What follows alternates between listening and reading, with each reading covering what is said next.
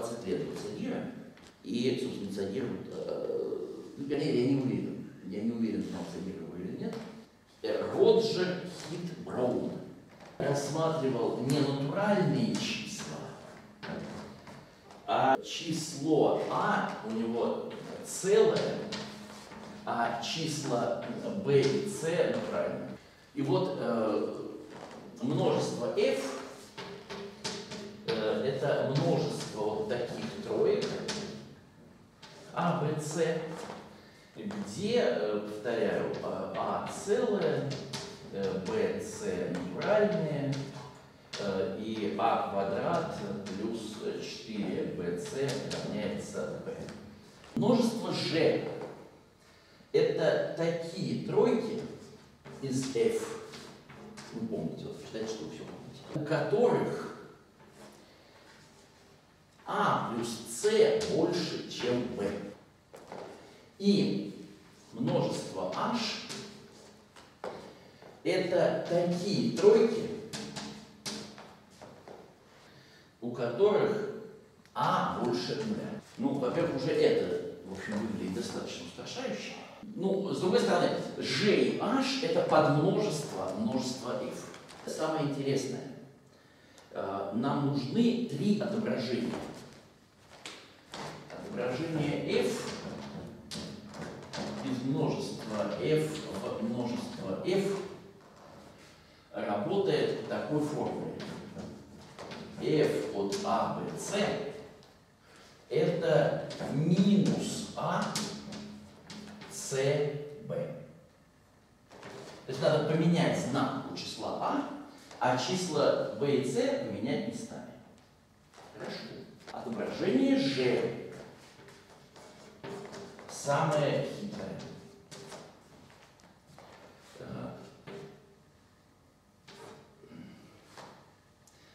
Два b минус А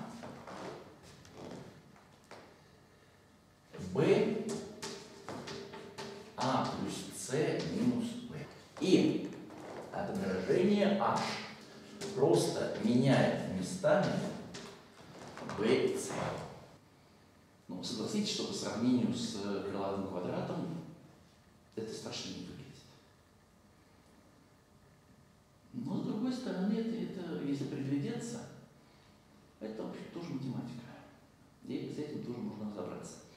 А, ну, смотрите, во-первых, Понятно ли, что H – это эволюция?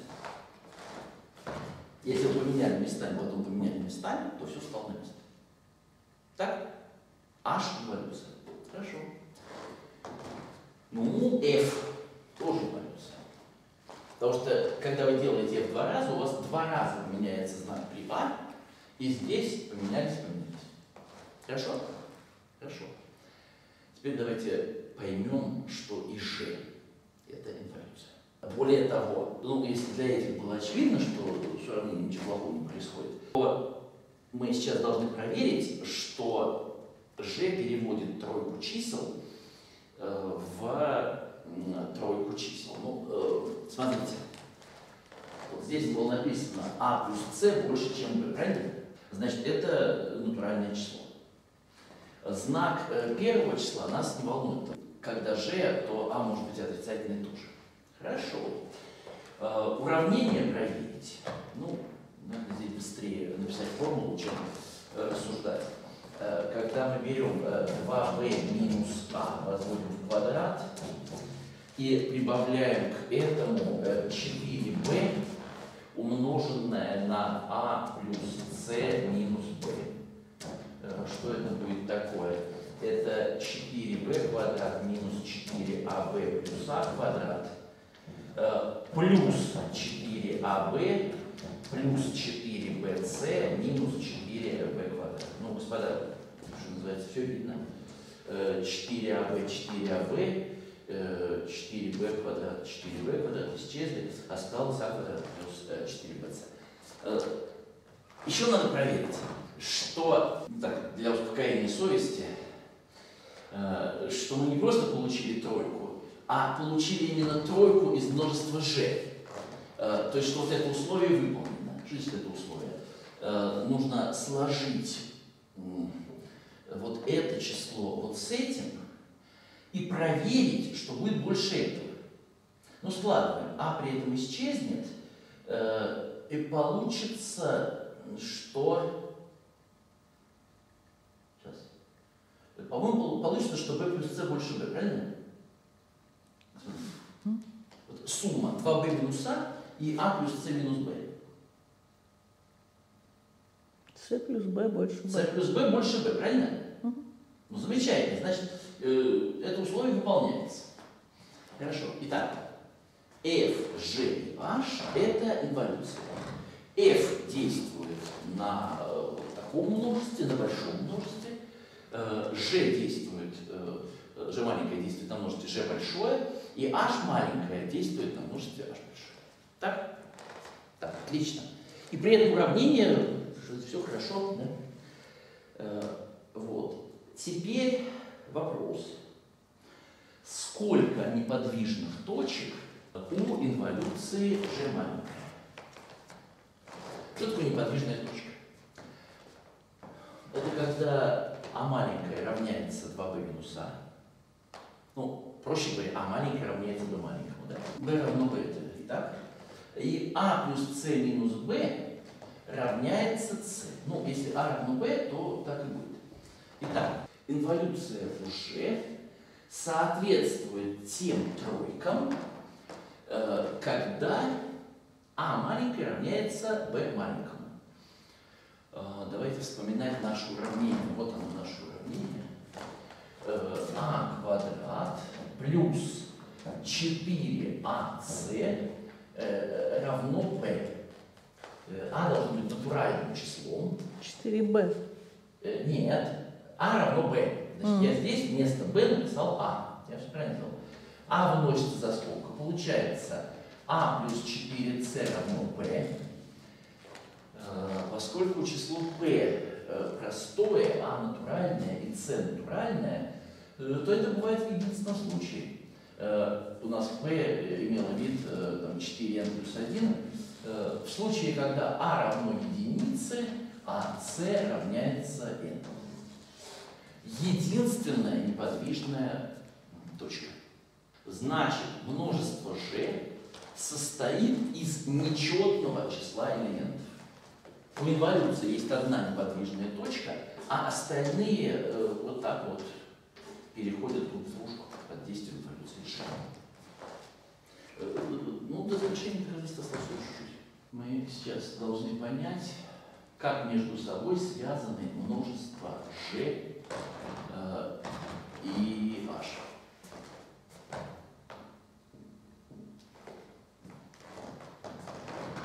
Вот смотрите.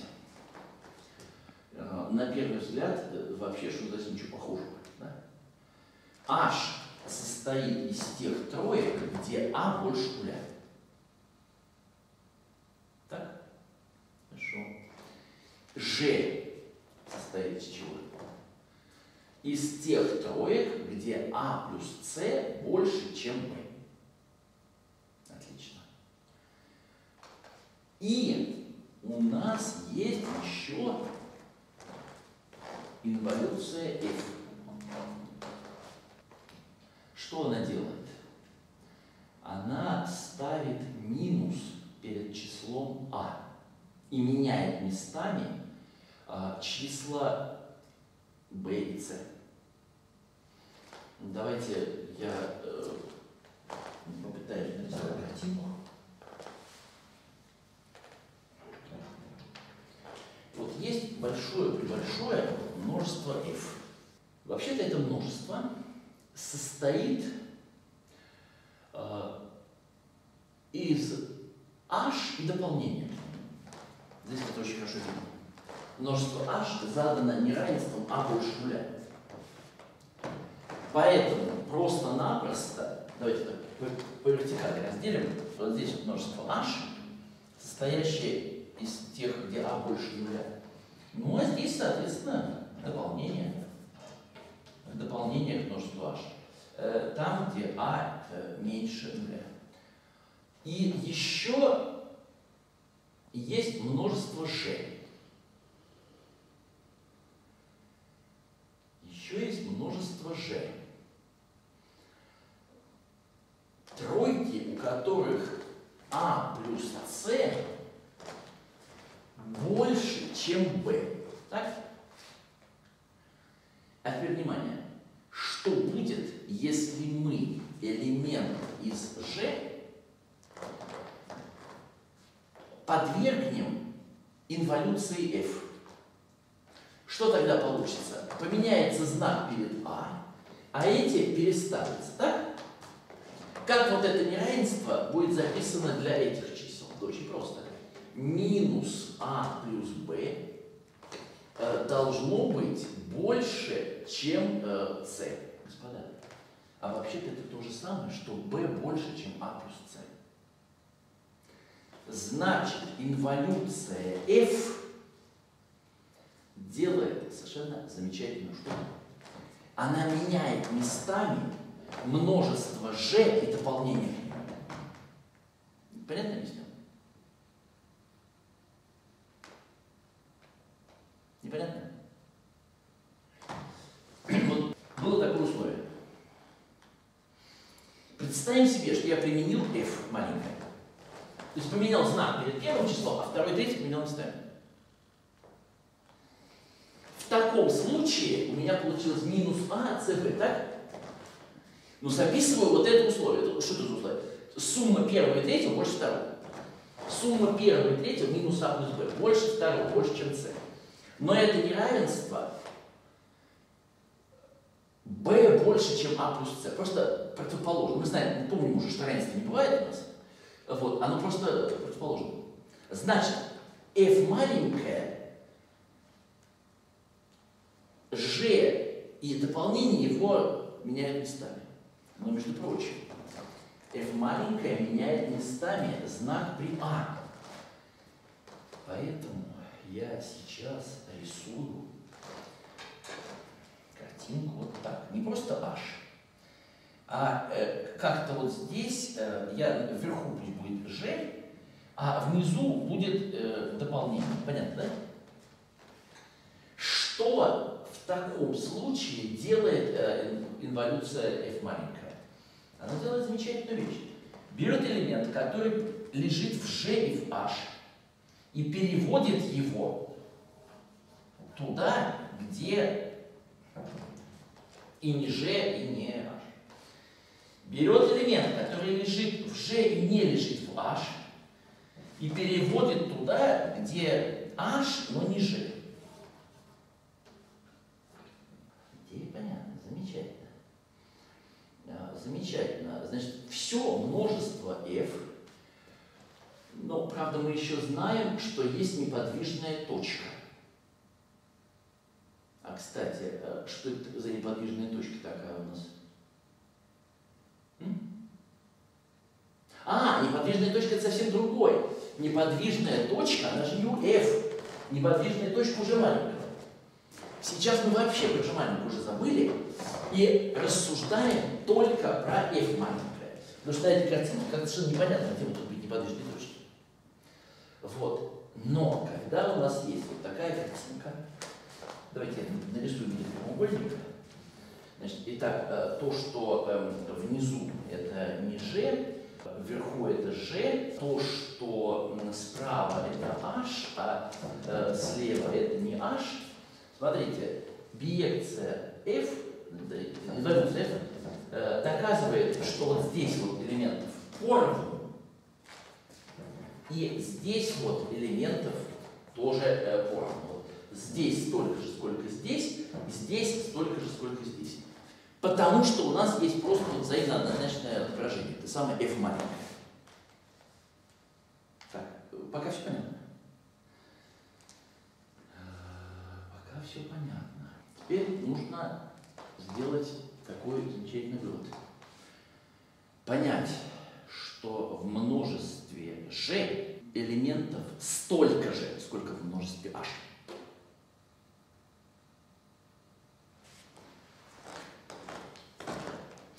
Хотя это очевидно, но я это пишу вот таким образом. В множестве g элементов столько же, сколько в множестве h. Или нет? Из чего состоит множество G? Из волнистого и полосатого. Вот оно множество G. Из чего состоит множество H? Из волнистого и полосатого.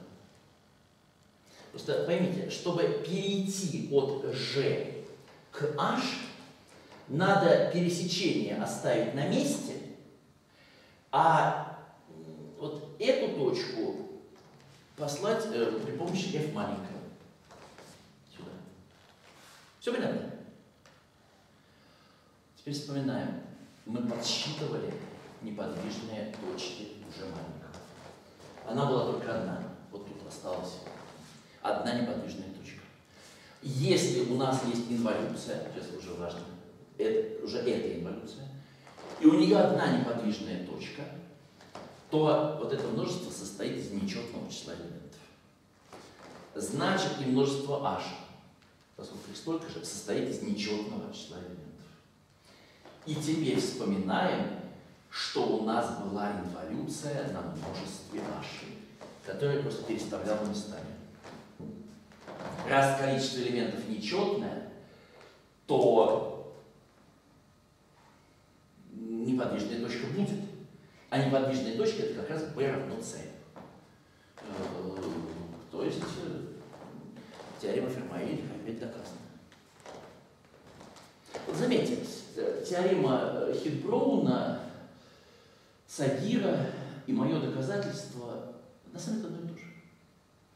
Если так хорошо-хорошо глядеться, э, то вы поймете, что более-менее про одно и то же будет Но э, что на разных языках разная степень ужаса. С квадратом это кажется совсем-совсем просто, с крылышками. У Хитброуна, ну я на самом деле не знаю, у кого приятнее, у или у Хитброуна, э, потому что Задир сумел обойтись без трех этих вот отображений, э, но зато формула у него такая более хитро записанная. Э, Хитброун формулы выписал очень простые, но зато множество